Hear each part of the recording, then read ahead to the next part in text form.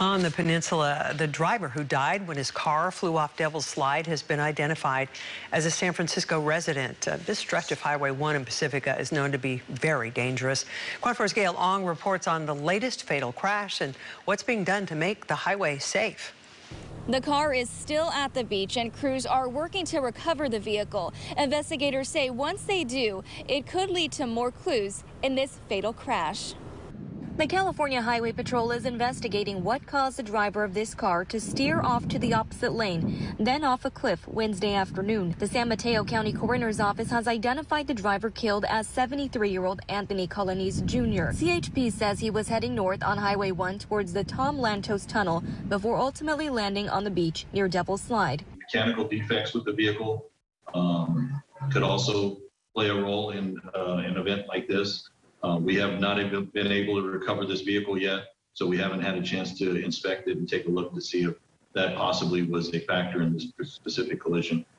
This curvy section of Highway 1 heading towards Half Moon Bay is known to be dangerous. In recent years, there were at least three fatal crashes. In August 2020, this car went off a cliff just south of Devil's Slide. The driver later died at the hospital. In November 2020, a motorcyclist died after riding over a cliff near the same area. In December 2019, a video shows an SUV going over a cliff near Gray Whale Cove State Beach, where a woman died. All these crashes are under investigation. Officer Mark Andrews with CHP San Francisco says issues on any roadway can be caused by distracted driving and speeding.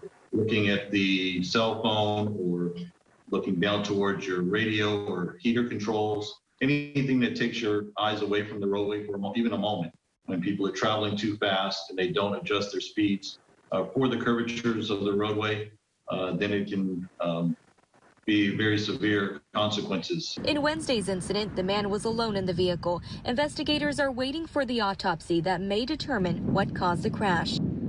In December 2020, Caltrans installed temporary concrete barriers and enhanced curve warning signs.